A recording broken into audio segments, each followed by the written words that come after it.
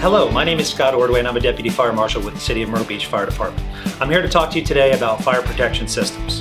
Per NFPA 72, your fire inspection is supposed to be done every year on all alarm systems. The records for three years should remain on site.